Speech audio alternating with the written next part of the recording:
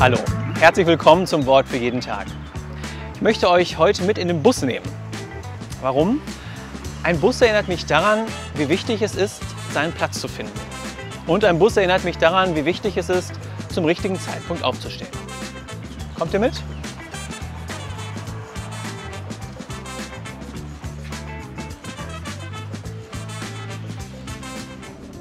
Vor 65 Jahren hat uns eine afroamerikanische Frau Wegweisendes vorgelebt.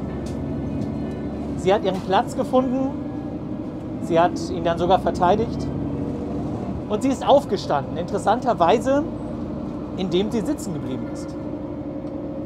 Alles das passierte in einem Bus. Am 1. Dezember 1955 nahm die schwarze Näherin Rosa Parks Platz im Bus. Und Sie war müde. Sie war geschafft von der Arbeit nach einem langen Tag. Und sie war froh, dass sie am Abend dann endlich im Bus saß, um nach Hause zu fahren. Und natürlich war ihr Platz hinten im Bus. Hinter den für die Weißen reservierten Plätzen. Ja, damals war das so in Amerika. Tiefes Schwarz-Weiß-Denken. Ähnlich wie heute. Der Bus erfüllte sich schnell. Und der Busfahrer befahl Rosa Parks ziemlich deutlich, ihren Platz zu räumen. Platz zu machen für einen Weißen. Das war damals nichts Ungewöhnliches. Der Weiße, er war sogar im Recht laut Gesetz. Doch Rosa Parks, sie blieb sitzen. Ich bin müde. Ich bleibe lieber sitzen, sagte sie. Ja, sie war müde. Müde von der Arbeit, aber auch müde davon, sich demütigen zu lassen. Tag für Tag. Sitzen zu bleiben war in dem Moment ein kleiner Aufstand. Die Weißen im Bus, die wurden ärgerlich. Was nahmen die sich heraus? Der Busfahrer rief die Polizei an. Sie wurde verhaftet. Wegen Gefährdung der öffentlichen Ordnung, das muss man sich mal vorstellen. Warum? weil sie den Mut hatte, sitzen zu bleiben, auf ihrem Platz. Sie blieb sitzen, weil sie zutiefst nach Gerechtigkeit sich sehnte. Ja, damals blieb sie nicht allein. Mehr und mehr Menschen stellten sich an ihre Seite. Ein Busboykott sollte der Anfang sein für eine Bürgerrechtsbewegung, die sich leidenschaftlich gegen die Unterdrückung der schwarzen Bevölkerung in Amerika einsetzte. Der Pastor Martin Luther King Jr führte die Bewegung damals an. Und er war beseelt von dem Traum, die Welt, die so sehr in ihrem Schwarz-Weiß-Denken und dem Rassenhass verbohrt war, völlig ohne Gewalt zu verändern. Und es ist ihm tatsächlich gelungen, gewaltfrei die gesetzliche Rassentrennung in Amerika zu überwinden. 1964 wurde er dafür mit dem Friedensnobelpreis geehrt.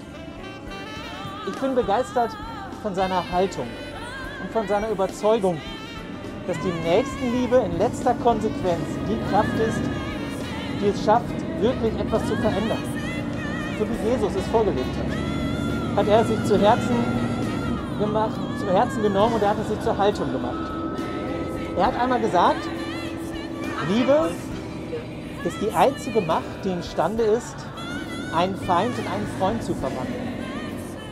Liebe ist die einzige Macht, die imstande ist, einen Feind in einen Freund zu verwandeln. Und daran hielt er fest. Obwohl er und seine Familie ständig bedroht wurden. Er wurde mehrmals verhaftet, misshandelt, am Ende sogar von einem Auftragskiller erschossen. Wir müssen unsere weißen Brüder lieben, gleichgültig, was sie uns antun. Wir müssen ihnen zeigen, dass wir sie lieben. Dazu ruft Jesus uns auf. Was für eine Größe, die hinter diesen Worten steckt. Ja, so hat er sich auf seinen Traum hinzubewegt. Sein Traum von einer Welt, in der Menschen friedlich zusammenleben und sich nicht mehr nach ihrer Hautfarbe, nach ihrer Herkunft oder nach ihrem sozialen Status beurteilen. Dieser Traum, ich glaube, er ist heute noch so aktuell wie vor 65 Jahren. Dass es möglich ist, dass sich etwas zum Guten verändert. Lasst uns einsteigen in den Bus, der diesen Traum zum Ziel hat. Lasst uns unseren Platz finden. Und dann lasst uns zur rechten Zeit aufstehen, um etwas zu bewegen. Für die Schwachen, für die, die ausgegrenzt werden und für einen Glauben, der getragen ist von einer göttlichen Liebe, die den Hass überwindet. Wie das gehen kann, manchmal einfach, indem ich sitzen bleibe. Alles Gute euch, bleibt behütet.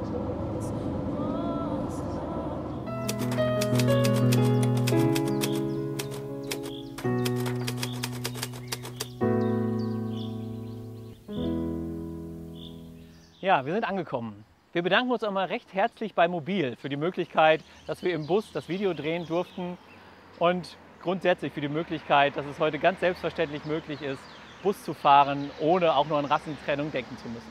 Vielen Dank.